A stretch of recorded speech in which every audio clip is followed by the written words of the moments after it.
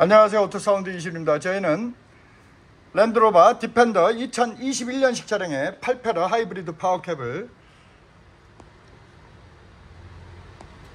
엔진룸 안에 장착한 후 동영상을 촬영하고 있습니다.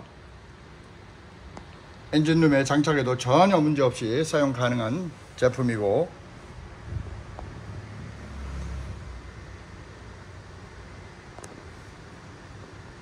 열이나 냉해에 전혀 걱정 없이 사용 가능하다 말씀드릴 수 있습니다. 8패럿 하이브리드 파워캡 랜드로버 디펜더 2021년식 차량이었습니다. 감사합니다.